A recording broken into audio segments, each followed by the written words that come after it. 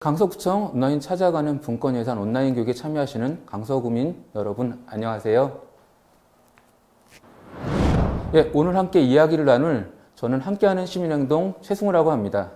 그 본격적인 이야기를 나누기 전에 제가 한번 부탁을 하나 드릴게요.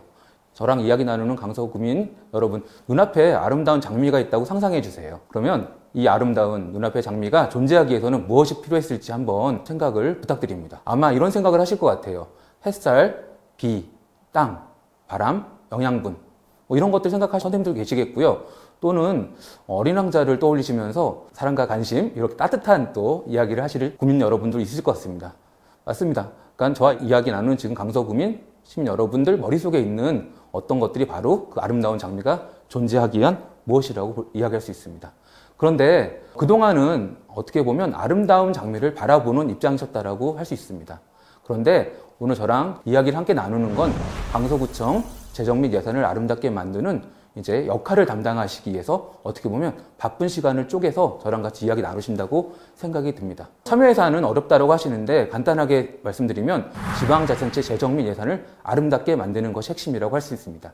그렇기 때문에 참여예산은 아름다운 장미를 바라보는 게 아니라 뭐죠? 아름다운 장미를 만드는 과정이라고 생각하시면 좋고요. 그 다음에 어떤 지방자치단체 재정 및 예산을 아름답게 만들기 위해서는 시민들의 이야기를 잘 듣고 경청하고 잘 반영하는 것이 필요합니다. 간단하게 참여예산의 핵심, 그 다음에 제도에서 설명드렸는데요. 이제 강서구청 재정 및 예산을 아름답게 만드시는 햇살, 비, 땅, 바람, 영양분 또는 사랑과 관심 등의 역할을 하시겠다는 강서 구민 여러분들과 함께 이야기 나누게 돼서 영광입니다. 여기서 잠깐 시민참여 예산제에 대하여 더 자세히 알아보겠습니다. 시민참여 예산제란 서울시의 예산 편성 등 권한을 시민과 공유하여 공공서비스에 대한 수요와 선호 등을 예산에 반영하는 제도를 말합니다. 예산 편성 등 예산 과정의 시민 참여를 보장함으로써 예산의 투명성, 민주성을 증대하고 참여 민주주의를 활성화하는 제도입니다. 주민자치의 이념을 재정 분야에서 구현하는 지방 거버넌스의 한 형태로서 참여 민주주의를 실현하는 중요한 수단이라고 할 수 있습니다.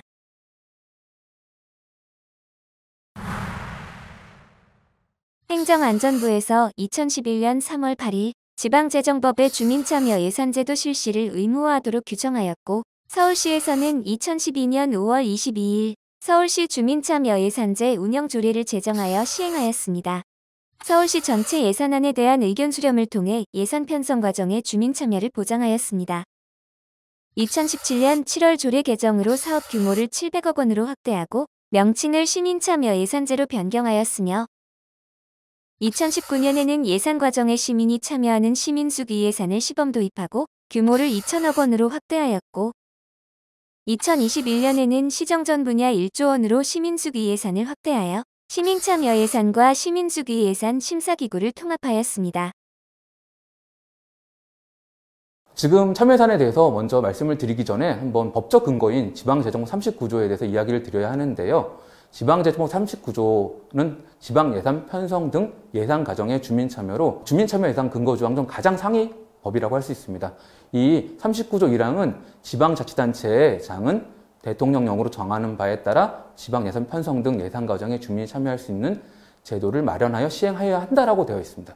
여기서 시행하여야 한다라는 것들은 뭐죠? 바로 강제적으로 무조건 해야 된다는 성격입니다. 이 조항에서 지방 예산 편성 등 예산 과정에 참여할 수 있다는 것은 일반적으로 형성, 편성, 집행, 평가에 참여할 수 있다는 것을 뜻합니다. 이거는 중요하기 때문에 제가 다시 한번 강조해서 말씀드립니다. 지방 예산 편성 등 예산 과정은 형성, 편성, 집행, 평가라고 할 수 있습니다. 그러면 형성 과정의 시민 참여를 간단하게 설명드리면 제가 이런 말씀을 드릴게요. 오늘 저랑 이야기 나누고 맛있는 식사를 하셔야 되는데 뭘 드실 건지 한번 또 생각해 보세요. 손님이 무엇을 드실 줄 아는 식당 주인은 재료를 어떻게 준비하면 되죠? 재료를 알맞게 준비하면 돼요. 그런데 손님이 뭘 드실지 모르는 식당 주인은 어떻게 되죠? 재료를 이것저것 다 준비해야 됩니다.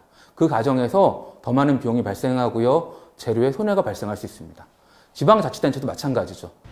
형성과정의 시민 참여는 시민들의 이야기를 들어보고 지방자치단체에 재원 배분을 하는 것이 합리적이라는 의미를 갖습니다. 그래서 물어보라는 거예요.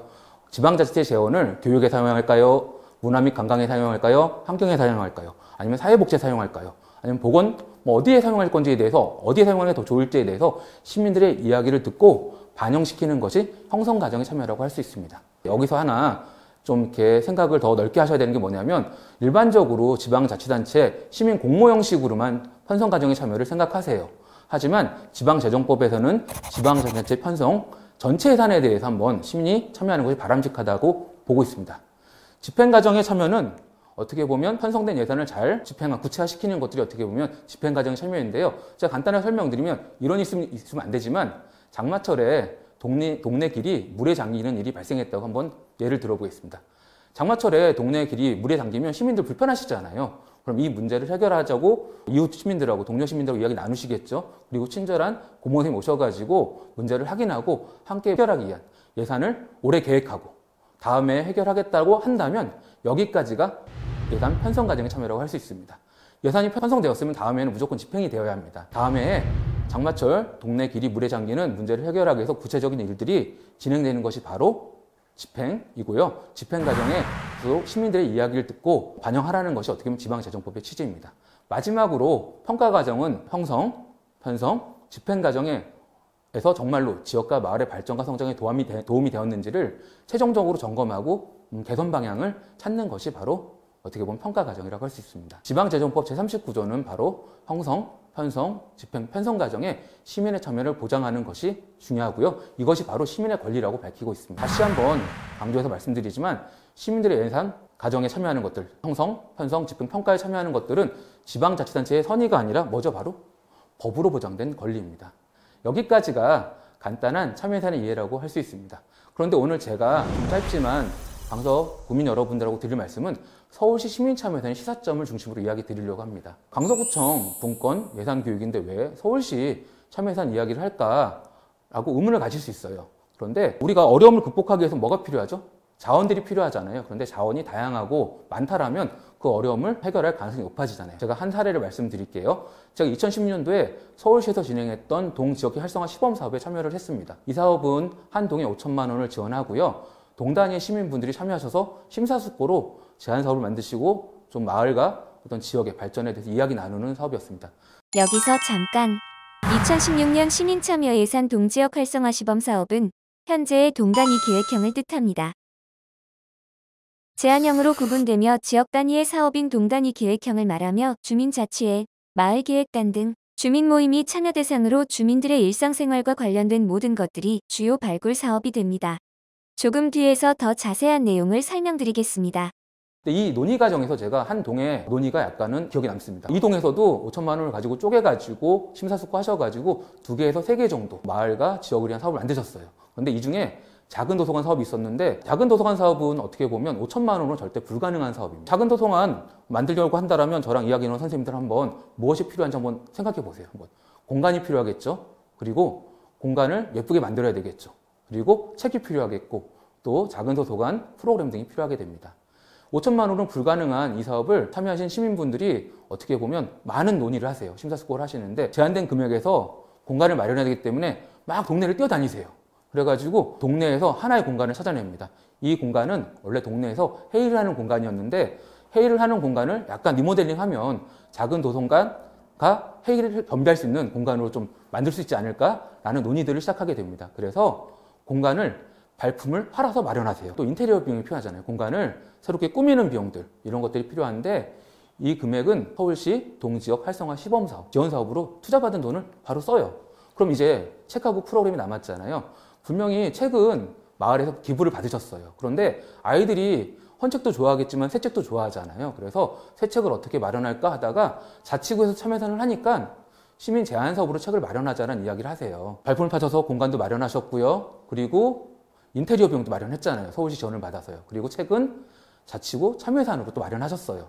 그럼 이제 프로그램이 남았는데 이 프로그램 마련하실 때 이런 얘기를 하시더라고요. 재능 기부 받자라고 처음에 이야기를 하셨어요. 그런데 한 시민분이 딱 일어나서 어, 그동안 계속 우리 동료 시민들이 계속 헌신적으로 열심히 어떤 노력하시는 건 고맙지만 그래도 한 두세 시간씩 일을 해주시면 밥값이라든지 차비는 좀 드리는 게 좋지 않겠냐라고 해요. 그랬더니 한 200만 원에 300만 원 정도가 필요하다고 또 이야기가 나왔어요. 그래서 이 돈을 또 어떻게 마련할까 또 고민하시는데 갑자기 구세주 같은 동장님이 갑자기 딱 이야기를 꺼내십니다. 우리 한 달 후에 바자회 하는데 작년에 미역하고 멸치 팔았는데 수익금이 200에서 300만 원 나왔으니까 그 돈 가지고 작은 도서관 프로그램에 사용하면 어떨까라고 또 제안을 해주세요. 그래서 작은 도서관이 1년 만에 만들어지게 됩니다. 여기서 보면 공간은 어떻게 하셨죠? 시민분들이 발품을 파셨고요. 그 다음에 인테리어 비용은 서울시 지원을 받았죠. 그리고 책들은 어떻게 했죠? 자치구 참여예산에 지원하셔갖고 신청 받으시겠다고 했죠. 그리고 도서관 프로그램 어떻게 하셨죠? 시민들의 봉사 그리고 바자회 금액을 만들어서 어떻게 보면 지역의 이런 문제를 해결했습니다. 제가 서울시 사례를 강서 구민 여러분에 소개하는 것은 바로 이런 문제입니다. 서울시에 살고 계시지만 강서구에 직면하신 문제라든지 어려움들, 그다음에 강서구청 발전이라든지 지역의 발전을 위해서 다양한 자원들을 확보하시는 것들, 그다음에 다양한 상상력을 가지는 것들이 어떻게 보면 큰 도움이 되기 때문에 제가 오늘은 서울시 시민참여단에 대해서 좀 소개를 해드리려고 합니다. 여기서 잠깐. 시민참여 예산제는 시민수기 예산과 시 재정의 시민참여로 구성되어 있습니다. 여기서 시민수기 예산은 다시 수기형과 제한형으로 구분됩니다. 시재정의 시민 참여는 전체 예산에 대한 시민 의견을 제시하거나 사업 모니터링 등 활동이 필요한 시기에 별도 구성 운영합니다. 단어 뜻 자체가 낯설잖아요. 시민들이 일상적으로 안 쓰시진 않은데요. 간단하게 설명드리면 시민 수기 예산에서 수기형은 기존 계속 사업을 대상으로 한다고 합니다. 이건 뭐냐면 과거에 이미 편성되고 집행되었던 사업이라는 뜻을 의미합니다. 뭐 계속 사업이라고 하는데요. 뭐냐면 신규 사업이 아니라 기존에도 과거에도 편성되고 집행됐던 사업이잖아요. 어, 간단히 설명드리면 지역에서 아이들을 대상으로 어떤 보육 사업을 했어요. 이거는 작년에도 했고 재자작년에도 했고 계속 편성되고 집행됐던 사업입니다. 이런 사업들을 기존 계속 사업이라 하고요. 제한 공모형은 시민들이 제안하는 신규 사업이라고 이해하시면 됩니다. 여기서 잠깐. 시민수기 예산 제한형은 시민이 신규 사업을 제한 심사 선정하는 기존 시민참여 예산으로 광역 단위의 광역 제한형과 민주주의 서울 제한형, 지역 단위의 구 단위 계획형, 동 단위 계획형으로 구분되어 있습니다. 광역 단위의 광역 제한형은 두 개 이상 자치구의 시민 편익 향상과 광역 도시 문제 해결 사업이 주요 내용이고 민주주의 서울 제한형은 시민 제안과 정책 공론을 통해 발굴된 사업이 주요 내용입니다. 지역 단위의 구 단위 계획형은 지역 사회 문제를 해결하기 내용이 주요 사업 내용이 되고 동 단위 계획형은 마을 단위의 문제 해결을 위한 마을 발굴 사업이 주요 내용이 됩니다. 서울시 시민참여예산 특이형과 제한 공명을 보시면 두 개가 떨어진 것처럼 보여요. 하지만 이거는 시민들의 이해를 돕기 위한 어떻게 보면 구분이고요. 사실은 통합 연계되어 있습니다. 서울시의 이런 어떤 통합 연계 방- 방향은 시민참여예산에서 굉장히 주민참여예산에서 혁신적인 시도라고 이야기 드릴 수 있습니다. 지방자치단체에서는 이 서울시를 제외하고는 기본적으로 시민들이 신규 제안하는 제한 공모형으로 심- 어, 예산 편성이 이루어져 있습니다. 서울시 시민참여 예산에서는 어떻게 보면 강역 단위 400억 좀 지원하고요. 그다음에 지역 단위 300억인데 강역 단위는 400억은 서울시 일들에 대해서 시민들의 제안을 받겠다라는 거고요. 지역 단위 300억은 구 단위, 그다음에 동 단위에 투자를 하겠다라는 거예요. 여기서 잠깐. 광역 제한형 사업 규모는 300억 원 내외이며 사업 대상은 두 개 이상 자치구의 시민 편익의 향상과 광역 도시 문제 해결을 위한 사업입니다.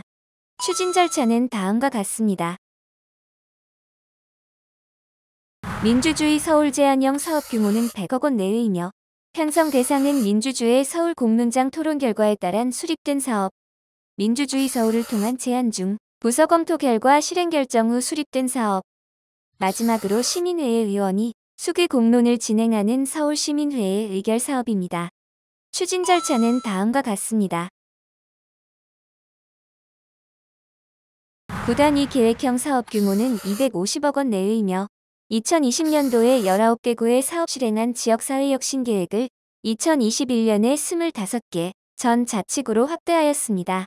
추진 절차는 다음과 같습니다. 동단위 계획형은 사업 규모는 55억 원 내외이며 주민자치회, 마을계획단, 동지역회의 등 동회의 운영 동의 사업에 참여합니다. 사업 내용은 주민들의 일상생활과 관련된 모든 의제에 해당되며 추진 절차는 다음과 같습니다. 그런데 이렇게 설명드리면 강서 구민 여러분도 약간 오해하실 수 있어요. 어, 강서구청도 주민 참여예산 하는데 서울시에서도 왜 강서구청이라든지 서울시 25개 자치구에 지원을 하고 동단위 사업에 지원을 할지 이런 것들에서 왜 하지? 중복 투자 아니야? 라고 하실 수 있습니다. 그런데 이것들에서 이해하시려고 한다면 지방자치의 경제적 효과에 대해서 한번 제가 말씀을 드릴게요. 지방자치를 하는 이유는 바로 경제적 효과인데 바로 뭐냐면 정책의 어떻게 보면 실험 또는 혁신과 관련된 내용입니다. 만약에 중앙정부 국가 단위에서 정책 실험을 하고 혁신을 하게 되면 그 성과가 성공할 경우에는 모든 국민에게 돌아갑니다. 그 다음에 혜택도 전국에 다 미치게 되죠. 그 다음에 서울시 같은 경우에는 중앙 정부보다는 작은 범위지만 어, 서울시는 천만이잖아요. 천만이고 그 다음에 서울시 전역에 어떻게 보면 영향을 미칩니다. 그런데 지방자치라는 이유는 바로 이겁니다. 강서구청 구민의 숫자는 약 60만 명이에요. 그런데 이 60만 명이 적다라는 건 아닙니다. 하지만 중앙정부, 대한민국과 비교하고요. 서울시랑 비교해 본다라면 인구 60만은 약간 제한적이고요. 공간적으로도 약간 한정되어 있는 측면이 있습니다. 따라서 강서구에서 정책 실험을 하고 혁신을 하는 것이 더 경제적으로 유리하다는 거예요. 더 작은 단위에서 먼저 실험을 하고 검증을 거쳐서 정책들을 서울시, 국가 단위에서 실험을 하게 되면 검증된 정책으로서 효과들이라든지 어떤 삶의 영향들을 제한시킬 수 있기 때문에 먼저 혁신적인 시도들이라든지 정책 실험을 해보라는 겁니다. 제가 강서구청 주민참여예산 운영 계획을 보니까 동단위에서 정책 실험을 하겠다라고 어떤 내용들이 있더라고요. 이런 것들은 굉장히 바람직합니다. 여기서 잠깐. 강서구 주민참여 예산은 지방재정법과 서울특별시 강서구 주민참여 예산제 운영 조례에 근거하여 구 예산 편성 과정에 주민의 직접 참여를 보장하여 재정 운영의 투명성과 민주성을 제고하기 위해 운영되고 있습니다. 공모 대상 사업은 신규 시설 투자 사업, 지역 현안 사업, 주민 건의 사업 등이며 9. 12 보조 사업, 단연도 사업, 자치예관 보수 사업, 그 외 특정 단체 지원 우려가 있는 사업 등은 공모 분야에서 제외됩니다. 주민참여 예산 운영 프로세스는 다음과 같이 이루어지며 각 단계별로 세부적인 내용에 대해 살펴보겠습니다. 강서구 주민참여 예산 사업은 강서구 거주 주민, 구 관할 지역에 소재한 기관에 근무하는 사람 또는 강서구 내 사업체의 임직원이 사업을 신청할 수 있으며 제안사업 신청서에 사업 내용을 기재하여 구 홈페이지, 전자메일, 우편, 방문 등을 통해 신청하시면 됩니다.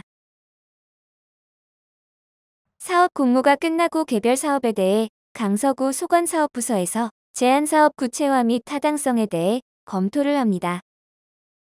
사업부서의 검토가 완료된 후에는 주민참여예산 분과위원회에서 사업 적격성을 검토하고 우선순위를 정하여 본회의에 상정을 합니다. 분과위원회에서 심사가 끝난 사업에 대해 사업 적정성 확인을 위한 현장 확인을 실시하고 주민 전자투표를 실시합니다. 이러한 절차가 마무리된 후에 최종 사업 선정을 위한 주민참여예산위원회 전체 회의를 개최해 주민 전자투표 결과와 위원 심사 결과를 합산하여 다음 연도에 반영할 주민참여예산 사업을 최종적으로 선정하게 됩니다. 여기까지 강서구 주민참여예산제도에 대해 살펴보았습니다. 우리가 성공해서 많이 배울 것 같지만 우리가 어린 시절에 자전거를 어떻게 배웠는지를 한번 생각해 보시면 많이 넘어지면서 배우셨잖아요. 실패를 하지 않고는 배울 수가 없어요. 성공도 함께 실패를 통해서. 그렇지만 어떻게 하죠? 실패를 더 나은 실패로 만드는 과정 속에서 우리가 더 많이 배우고 성장, 발전할 수 있습니다. 그렇기 때문에 시민분들 실패를 두려워하지 마시고 참여해 주세요. 긴 시간 이야기 잘 들어주셔서 모두 감사합니다.